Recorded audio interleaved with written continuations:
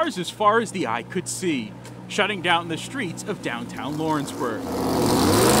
There was something for everyone at the 8th Cruising to a Cure for ALS. Thousands of people, hundreds of cars, it's a great turnout.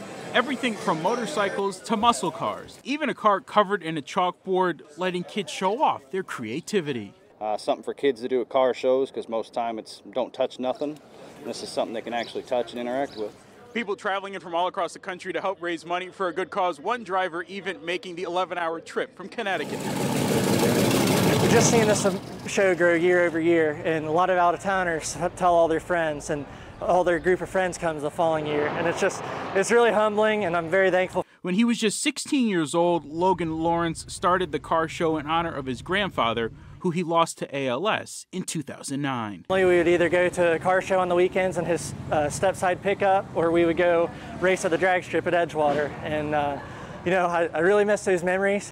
It's grown from 415 cars in the first year to close to a thousand this year. I do the show in memory of my grandfather, but I've met so many families that are currently affected by ALS and have been affected, and you know, forming those relationships with those families make the show mean even more.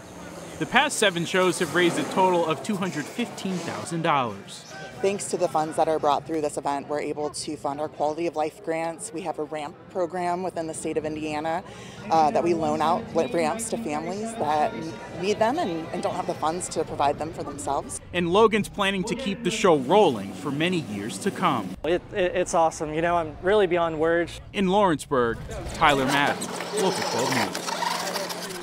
You can always get local stories right here on YouTube, but go ahead and hit that subscribe button to get notifications to stay in the know.